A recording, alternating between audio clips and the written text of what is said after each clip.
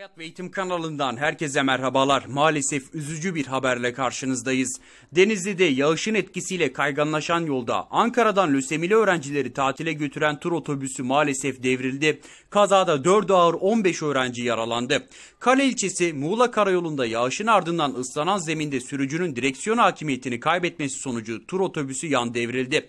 Otobüste bulunan çok sayıda öğrencinin yaralı olduğu belirtiliyor. Biz de Hayat ve Eğitim kanalı olarak yaralı öğrencilerin hepsine geçmiş olsun dileklerimizi iletiyoruz. Değerli izleyicilerimiz bizleri dinlediğiniz için teşekkür ediyoruz. Lütfen kanalımıza destek olmak için videomuzu beğenmeyi, kanalımıza abone olmayı ve bildirim zilini açmayı unutmayın.